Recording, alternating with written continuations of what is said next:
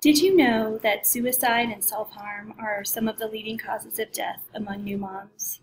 What if I told you that in 2012, with a beautiful weeks old baby that I had waited years for, I was despair personified? That the best moment of my life had turned into the most tragic and never ending days of depression and anxiety.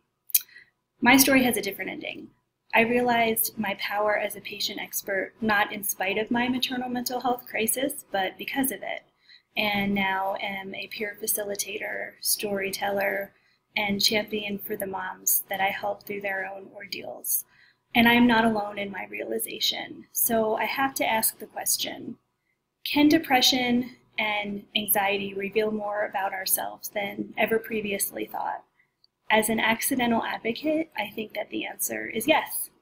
So, what if we took a new perspective in our treatment of mental health issues with a focus on teaching People need to know about their illness from those who understand the complexity of their condition. The power of realizing true purpose saved my life, thanks to innovative treatment that I received, and I want to bring that power to everyone.